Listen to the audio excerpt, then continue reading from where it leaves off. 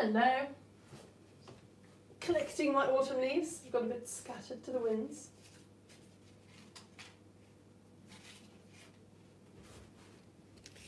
I really, I mean, I I always enjoy researching all my shows, but this in particular was something that I couldn't believe I didn't know anything about it.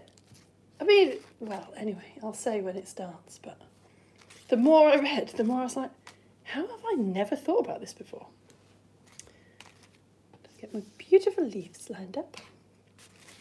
Uh, oh yeah, green and green and yellow pen, isn't it?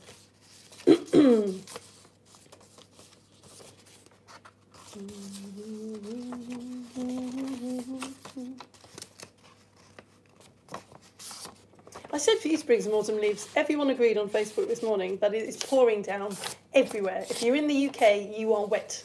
It's like a guarantee. So don't worry about it if you haven't got any leaves. They're only for looking at. But you can look at mine. Uh, that one, that one. Second.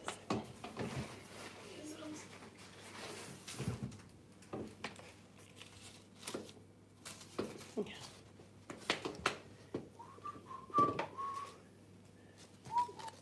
Oh, thanks for liking this. You lovely people. Um, what did I say? Oh, there we go. Green and yellow pens. I've got my experiment, which is terrible. I'm not going to make you do it. I'm just going to show you it. And I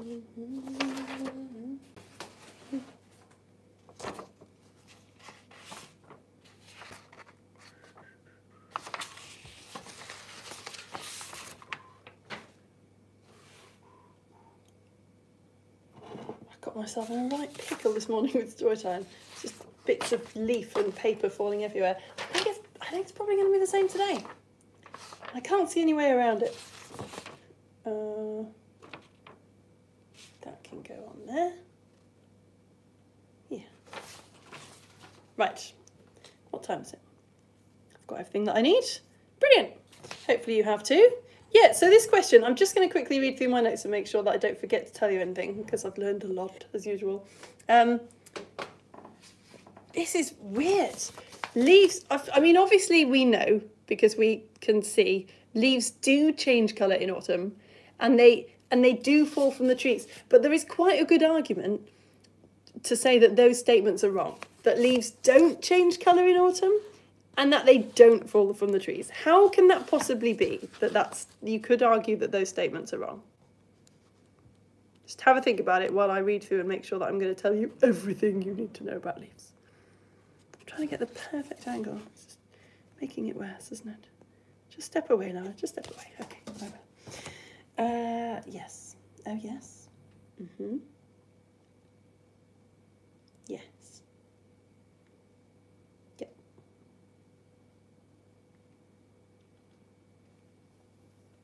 Yes. Yep. I got this. I'm gonna remember all this for you. Yes. hmm Oh yeah.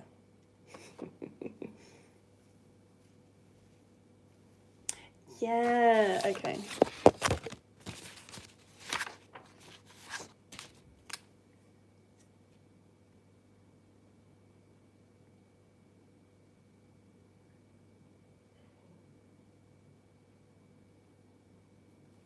Right, I got this. Let's do it.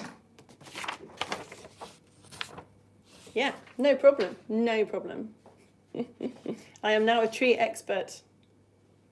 Okay, I'm going to flip you around. Are you ready? Uh, wait, where did I literally just put my... You just heard me get the green and the yellow pens out. And I've just used the yellow pen and then, just, I don't know, thrown it somewhere and I've put the green pen back. I'm just, I'm just a disaster. I don't know, I don't know how I do it. Surely other people don't live their lives like this. Where, guys, where's my yellow pen? Like, in my hand. Seconds ago.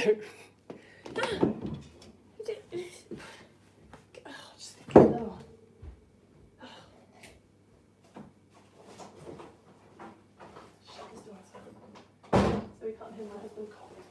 Right. Now I'm ready to go.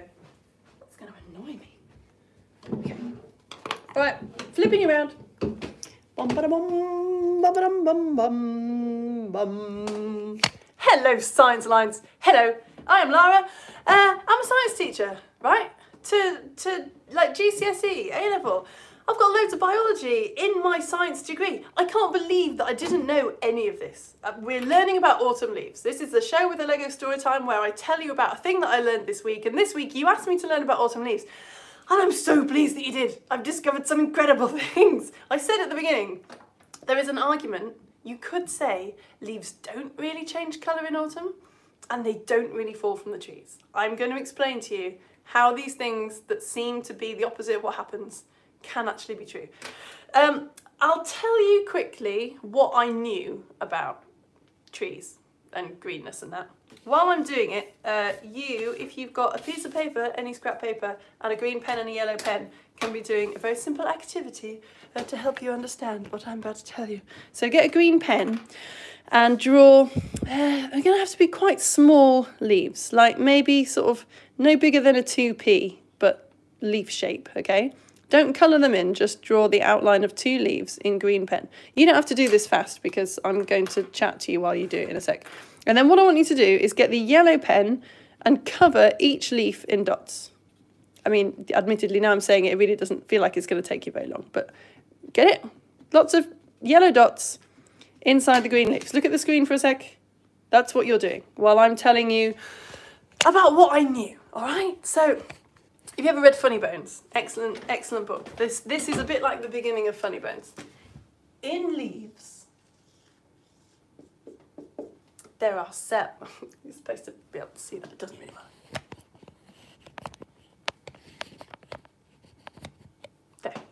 In leaves, there are cells, right? I'll draw, I'll, I'll write it. Here is a cell. In the cell, there are chloroplasts. Chloroplasts are just, you can think of them as like little green dots. They're all going to look the same in this terrible drawing that I'm doing. Chloroplasts. So inside, a leaf is basically made of loads of loads of cells all stuck together, like we are, like most living things are. So inside all of these cells, you've got chloroplasts, which are green dots.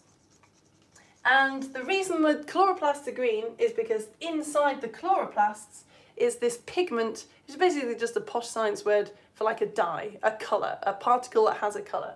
And the name of the pigment is chlorophyll. Chlor ah, I've, I couldn't spell it this morning, and I looked it up, and now I, and I didn't, I didn't look it up. I forgot to look it up. Chloroph.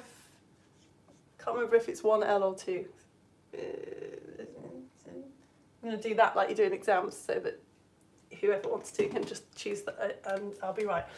Inside a leaf, there are cells. Inside the cell, there are chloroplasts. Inside the chloroplast, there is this green dye particle called chlorophyll. And chlorophyll does this amazing thing. What chlorophyll does is it captures light from the sun and it uses it to make the plant's food.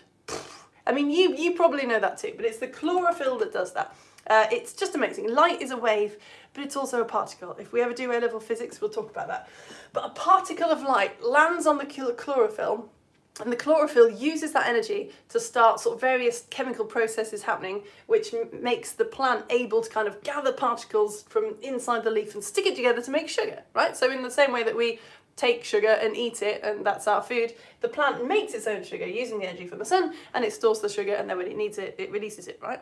Um, so that's what I knew, okay? I knew that leaves were green because of this particle, this pigment called chlorophyll and that was doing the capturing of the sunlight. That was all I knew. I didn't know anything about why leaves turn yellow, why leaves are red, even like really why they fall off trees. So that's what we'll talk about now. Uh, if you've done your little diagrams, get your green pen again no, that's just my chin. Get your green pen and on just one of the leaves, only one, uh, put lots of green dots. So one of the leaves you're just leaving with yellow dots. One of the leaves we're doing lots and lots of green dots as well. Because this is the first thing that I didn't know. It's all those beautiful autumn colours you see. Ooh, well, not all of them actually, um, but the certainly the yellows and the oranges. They're already there. They're in the leaves right now. Look at any green leaf. It's probably got a lot of yellow pigment in it. You just can't see it. So if you finish your green dots, um, this is a bit doesn't really work on camera. You just have to stand as far away from these things as you can. Like put it right on the opposite side of the room to you and stand right back and say what you see. Here we go. Stand on this chair. So what what do you think? One leaf clearly, they've both got the same amount of yellow dots on, but one leaf clearly just looks green, doesn't it? Whereas the other leaf looks yellow. Yeah, that's, that's a very simple model uh, for what is happening. In the summer, you don't see the yellow. It's called uh, carotene, is the pigment that is yellow and kind of orangey. Um, it's the same thing that makes carrots orange or turmeric yellow. Um, you can't see it because there's so much green in the way, so because your, our eyes can't make out the yellow. But yeah, in, uh, the, in autumn, we'll talk about why, when the chlorophyll sort of disappears, then all we're left with is the yellow leaf. That's bit, I didn't know this. Um, the red leaf, the red leaves are different again. So if you see, I'll show you down here. Um, you see leaves change from green to yellow. That's what's happening. The chlorophyll is dying. So the yellow or the orange that was already there is being revealed. If you get this beautiful red, look at that, splendid. That wasn't there already. So it was a good model because we didn't put any red dots on our leaf and that is why. The red is a pigment called anthocyanin. I think I think I'm saying that right. Anthos anthocyanin. Anthos anyway, this red pigment uh, only appears in autumn, and apparently, it's very good at helping the tree to get as much energy as it can from its leaves. So. Uh, if it's been a very sunny summer and if it's been very dry, the sugar sort of solution, the sugary liquid in the leaves, is really concentrated. Sort of same with us, like if we get very dry and very hot, we get dehydrated, right? We lose moisture. Um, it's the same with the leaf. So if it's been a dry, hot summer, the sugars are really concentrated, so the tree wants to get as much energy as it can from these sugars. So it produces these anthocyanins, which are red pigments, because they're really good at extracting all that energy. So I didn't realise, but you, that you hear talk about like autumnal displays, people going to the countryside to see the beautiful colours of autumn. Uh, they change. Sometimes, if it's been a really hot, dry summer, they will be particularly dramatic and gorgeous and red because the trees are releasing more of this anthocyanin. Yeah? right. Um, so, well, I get, let's talk about, yeah, why, why doesn't the well, let's talk about why leaves fall from trees, right? Why leaves fall from trees is because in the wintertime, for a start, it might start to snow. And if you've got loads of leaves pointing at the sky, the snow will fall on your leaves and make uh, your branches very heavy and it could break your branches off. So that's one reason, so that the snow will just fall through the tree and not damage it. Um, if leaves didn't fall off deciduous trees, then the liquid in the leaves uh, in wintertime would freeze and all the cells would burst and be ruined and next summer the tree wouldn't be able to use its leaves because they would be broken and the tree would die. So uh, there's all kinds of reasons. Um, it, it uses a lot of energy to sort of keep your leaves on. so to save energy, because it's not worth having them out because there's not going to be very much sun in the wintertime anyway, the trees leave them. The trees leave them. The leaves leave, leave them, you know. Brilliant question that I hadn't thought of why do the leaves change colour and then fall? Like, why, do, why don't the green leaves just fall off the trees? Wouldn't that be easier for the tree to just lose all its leaves without bothering with this colour change? Do you think why? It's the same reason that spiders eat their webs to take them down. They eat them and then they build another one. It's like recycling the materials. So uh, chlorophyll, very difficult to make takes a lot of energy. So rather than let it just fall to the ground, the trees bring it all in again. So the green isn't just sort of evaporating off or anything, it's actually going back into the tree. And then in the springtime, it comes out again. How good is that? Right, we're nearly done actually. Um, I need to talk, so we've talked about how leaves don't exactly change colour. It's just that one of the colours is going away so the other colour is being revealed. Leaves kind of don't fall off trees they're being pushed. so if you really, really, really close up into a leaf stem and a leaf, you would see cells um, that are kind of quite long, like across the entrance. And what happens is, as autumn comes, the tree releases hormones, and these these cells get longer and longer and longer. I can't remember the, the kind of posh science name for them, but they're basically called scissor cells, because what they do is they get longer and longer and longer, and eventually they just snip the leaf off. Yeah, it's not the wind. Obviously the wind helps, like if it's just hanging on by a tiny thread, a gust of wind might blow the leaf away, or the, the weight of the leaf would pull it off. But no, even on a if there was no wind for weeks and weeks and weeks, the tree's got it sorted. How good is that? That's just, just so many facts about trees have absolutely delighted me this show. Now, if you look up leaf experiment, autumn leaf experiment on the internet, you come across this chromatography activity. Um, it's just really complicated and I wasn't sure it would work, so I didn't get you to bring any of the stuff. What you do is you get a leaf, you crush it with a pestle and mortar, and then the stuff that's in the leaves doesn't really dissolve in water, so you've got to use rubbing alcohol or nail varnish remover. I didn't have that, so I used eye makeup remover that's been sitting in the cupboard for years. So it's not, the chemists, I know, it's not the same thing. But anyway, I mixed it with some liquid that wasn't water. And then you've got to get a piece of uh, coffee filter and you've got to dab your manky leaf mixture onto the coffee paper, leave it to dry, and then do it again, leave it to dry, and do it again, leave it to dry, and just uh, that goes on forever. So you have a really concentrated spot of a leaf pigment on the coffee filter paper, and then you might have done chromatography before. The idea is you put it in water, and the water goes up the coffee filter paper, and you see all the different colours that are inside the leaf. I'm going, I'm looking sarcastic because it hasn't worked for me, but I thought, you can't take my word for it, let's do it, and I'll show you. what a crock it is. Here we go. So I have some water here. I have my, they said to use a holly leaf. They said that that would work best. They said, said the internet. So I'm just going to dangle. I've got a little cocktail stick with my coffee filter paper stuck to it. Oh, it's a story time spoiler, isn't it? You can see story time in the background. And yeah, we're just going to let that, we'll just let that do its thing, she says in a in quite a sad voice. After story time, we'll come back to it and I can prove to you how that experiment is not worth bothering with. I don't know, if you've got nail varnish remover at home and coffee filter papers, you should you should give it a go, shouldn't you? I want to do it again. anyway, right. Um, I'll do story time and then I'll check through my notes to make sure that I haven't forgotten to tell you anything. But stick that in there. Bring these along here. Excuse me. Uh, I'm just looking at this person. I can't remember what this person. I've got a Lego person here holding a a plant, and I absolutely cannot remember what she's doing in the story. Anyway, I'm sure all will be revealed. uh, come down here. Still up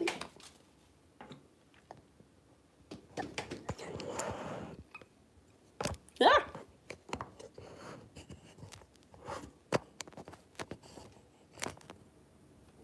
Story time. How are we here? Well, there was a big bang, wasn't there? Uh, which created space and time and stuff, and the stuff eventually clumped together to make stars and planets. But you know, there are a lot of stars and planets out there. Oh, you can see me in the screen. There are a lot of stars and planets out there in the universe, and we haven't found any evidence of complicated life anywhere. So that doesn't really answer the question, does it? Why are we here? Well, a big part of the answer to that is uh, trees. And in fact, just one particular tree. So, in the Devonian era, nearly 400 million years ago, plants had evolved. Uh, there's no flowers, get out. You haven't evolved yet. Plants have evolved to come out of the, the sea uh, and water, and they're living on land. And we know that there are ferns, and we know that there are mosses, and scientists know that these ferns and mosses are taking in carbon dioxide and giving off oxygen and changing the air of Earth in a way that will be incredibly useful to humans later on.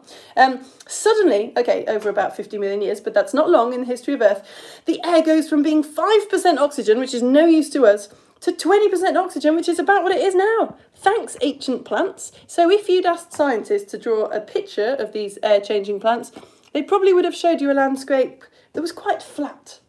And then a discovery in 1869 changed all that. So this that you're looking at on the map here is where uh, Gilboa is. Gilboa is a town in the New York state of America. I don't want to be patronising, um, but I think you could describe it as, as quite a sleepy little town. It's got less than 2,000 people living there now. If you look it up on Wikipedia, you'll find two photographs. One of them is this. I, I don't know either. The other one, well, in 1869, a creek near what was then the village of Gilboa uh, flooded and destroyed some houses. So workers exploded some rocks uh, to get out some rocks to do the repairs. And they found, still upright, just as they'd been when they died about 380 million years ago, two fossilised tree stumps. Building work in 1917 revealed a whole party of tree stumps. Our picture of what we thought the Devonian era looked like, it turns out it was completely wrong. Uh, so Winifred Goldring, who was the paleontologist of New York State at the time, she scientifically described these tree stumps and fought for them to remain in Gilboa. And they're still there now, dedicated to her memory. So here, here is a picture. Here is the other picture you find on Wikipedia if you look up Gilboa of these incredible tree stumps. But although the Gilboa tree stumps came first, uh, we might have another tree to thank for our existence. Just gonna just remembered what this guy with the plant is for, but it's actually a man, not a woman. And uh, he has short hair. a young scientist called Scheckler had spent a lot of time studying these fossils around the Gilboa Creek, um, and eventually he'd become interested in a plant from the Devonian period and travelled to Morocco with his friends, where he found enormous fossils of this plant. In fact, it was a great surprise because it turns out that the plant he'd been studying was actually a tree, and not just any tree. Uh, Archaeopteris had huge roots never found on trees of this age before. And testing the fossils, one of his scientist's friends discovered that it had buds on it. No tree this old has ever had buds on. They think this was the only tree around at the time that was capable of growing new leaves after the old ones died. These scientists think, they have actually said this, that this tree changed the world. Having roots, it altered the soil chemistry, and it could reach out to dry places that other trees and plants at the time hadn't been able to reach out to. Its huge, sprawling branches provided shade, which altered ecosystems um, and hung over the water. So at this point in history, we know that freshwater fish are changing shape and size. They're really evolving really fast.